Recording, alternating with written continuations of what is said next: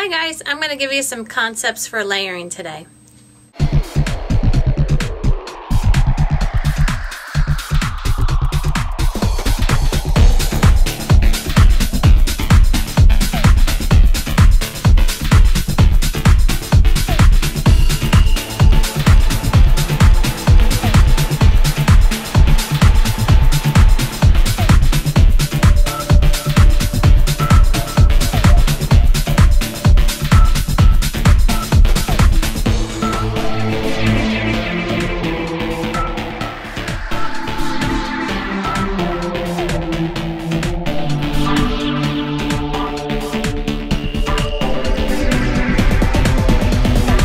So there you have it. That's layering. And I'll see you next time. Thanks for watching. Bye.